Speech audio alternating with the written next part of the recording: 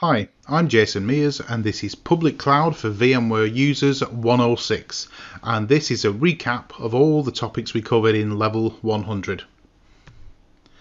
So we're going to go through all of the slides at the end of each section or end of each uh, uh, video in the series, the elevator pitch ones, which was a very quick summary of the things we learned previously in the in the course or the video. So the first one we came across was what is cloud computing?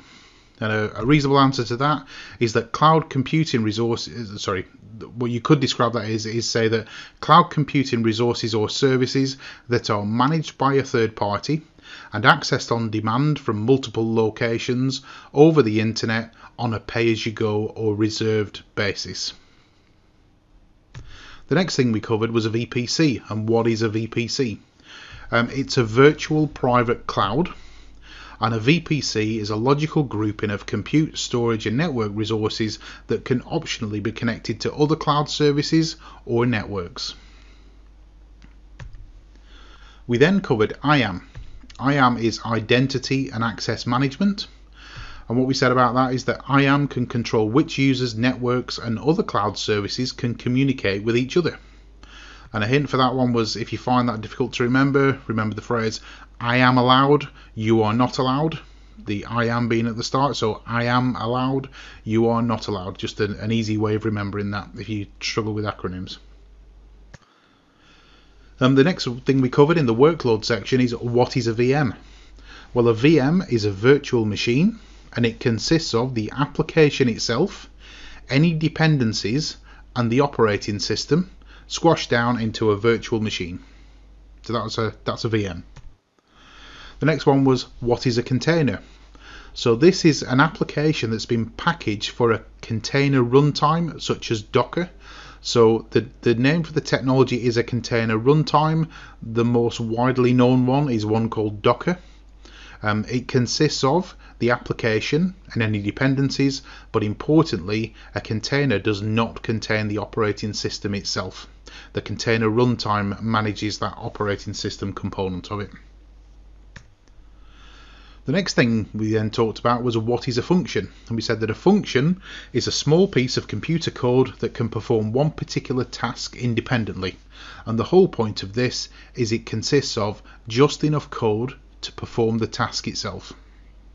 And that runs on a platform the industry calls serverless, um, it's a badly named technology because it, um, serverless code does run on a server. It's just that the end user either can't see it or is not aware of it. But you can be sure that somewhere in the deep dark depths there is a server actually running that code. It's just that the user doesn't have any interaction with it.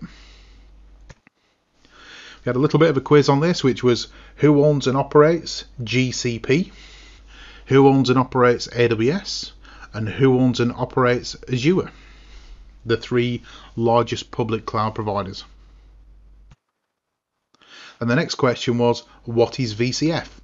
It's the VMware Cloud Foundation, which is a bundle of VMware products that can form the basis of a private cloud, hybrid cloud, and multi cloud environment.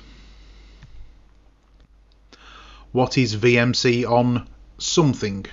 It's the VMware Managed Cloud that means it's owned and managed directly by VMware and a partner. For example, VMC on AWS is the VMware Managed Cloud on AWS hardware in an AWS data center. Next one is what is VCPP? It's the VMware Cloud Provider Program. This means it's owned and managed by one of just over 4,300 other VMware partners worldwide. So a good example of that would be something like um, the uh, Azure VMware solution, uh, where VMware provide the software, but Microsoft provide the hardware and the hosting uh, for it. And that brings us to the end. So that is the end of the recap um, in this series, which was only meant to be a very uh, light or brief introduction. We did an introduction to cloud computing itself. We covered compute and services uh, that you would find in a cloud provider. We covered different types of workload, that was VMs, containers, and serverless. We then covered public cloud offerings, so the different services available from Amazon, Google, and Microsoft Azure. We then covered VMware Cloud Foundation and the different ways that that can be deployed, and then this video, which was the level 1 100 recap. So this was just a very simple uh, introduction to cloud computing. Thank you very much for your time, and I hope you found that useful.